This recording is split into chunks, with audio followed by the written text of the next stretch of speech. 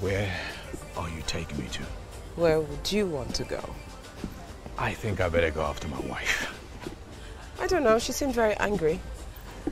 Maybe I'm safer with her than with you. That could be true. Oh, you are trouble.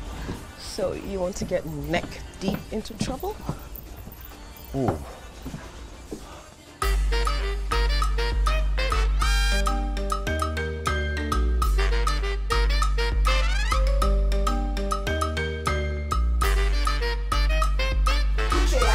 Not doing what I think you're doing.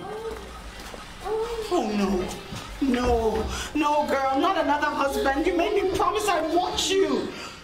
Oh, sorry. So sorry.